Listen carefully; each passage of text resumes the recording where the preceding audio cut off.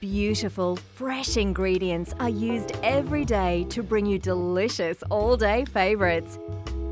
Like Eggs Benedict made your way with natural Atlantic smoked salmon, lean leg ham, or sautéed mushrooms and spinach.